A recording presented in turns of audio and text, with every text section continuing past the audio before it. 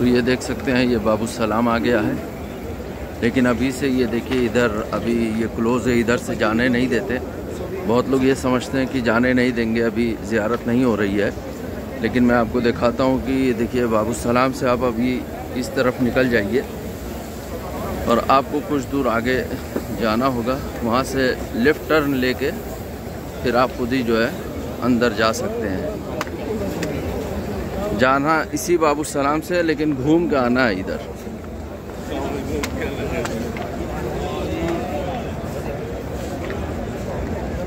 ये देखिए, लोग जो है, आ रहे हैं इस तरफ़ से घूमते हुए। ये आके ये बाबू सलाम में जाएँगे।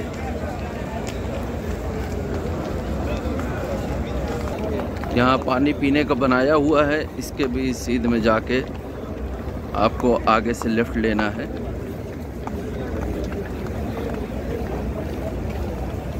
ये देख सकते हैं आप यहाँ से लेफ़्ट टर्न लेंगे और फिर आप खुद ही समझ जाएँगे कि जाना किधर है।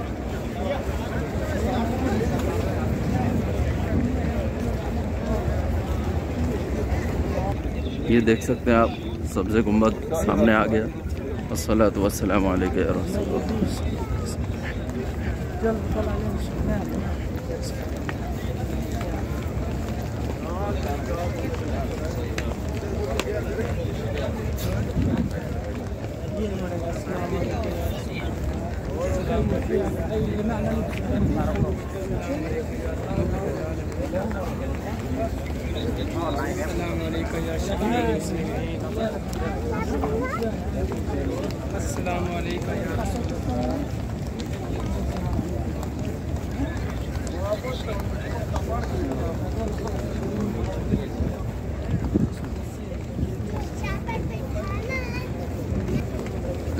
अच्छा ये देख सकते हैं आप, ये जो ब्लैक कलर का नज़र आ रहा है, ये हज़रत अयूब अंसारी रदी अल्लाह तु का घर था, जहाँ पे उठनी आके बैठी थी और अकाल इस्लाम इनके किया।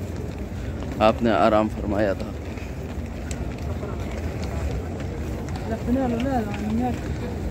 बस यहाँ से होते हुए ये बाबू सलाम आ गया, यहाँ से हम अंदर चले। तो अल्हम्दुलिल्लाह हम ज़ियारत करके बाहर निकल चुके हैं। और अभी मैं आपको दिखाता हूँ कि ये आप देख सकते हैं कि उस तरफ़ काफ़ी मजमा है। ये जो है रियाजुल जन्ना के लिए वहाँ पे परमिट दिखाना होगा, तब आप जा सकते हैं। एतमारना ऐप के ज़रिए आप अपना परमिट ले सकते हैं। वीज़ा नंबर है, पासपोर्ट नंबर, नेम वगैरह सब डालना होता है, नेशनलिटी। मोबाइल नंबर, ईमेल और आपको परमिट मिल जाएगा। जिस डेट का, जिस वक्त का मिलेगा, उसी वक्त आप जा सकते हैं और मैंने सुना है कि शायद महीने में एक ही बार आप जा सकते हैं। तो देख लें और समझ लें, ताकि आप जब आएँ तो आपको कोई तकलीफ़ ना हो। ये देखिए, यहाँ पे चेकिंग कर रहे हैं।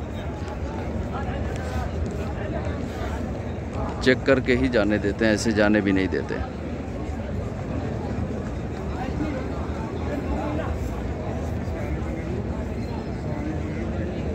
कितनी लंबी लाइन लगी हुई है बहुत मजमा है।